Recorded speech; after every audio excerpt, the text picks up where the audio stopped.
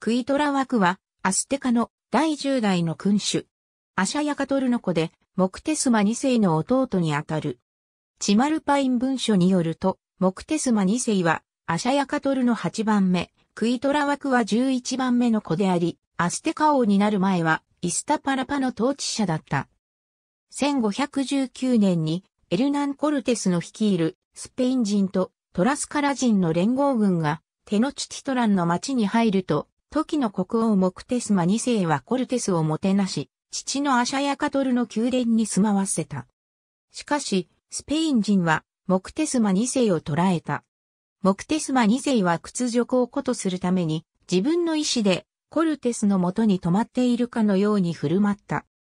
かくしてテノチティトランは、モクテスマ2世とコルテスの二重統治状態になったが、キューバ総督、ディエゴ・ベラスケスがコルテスを逮捕するために、パンフィロでナルバイスをメキシコに送り込んでくる事件が起き、コルテスはナルバイスに対処するために1520年4月にベラクルスへ出征した。この間、コルテスの留守を預かるペドロ・デ・アルバラードがウィチロポチトリの祭りを行おうとしているアステカ人を虐殺する事件が発生し、起こったアステカの兵士はアシャヤカトルの宮殿を攻撃したが、ナルバエスに勝利したコルテスが戻ってきて反撃した。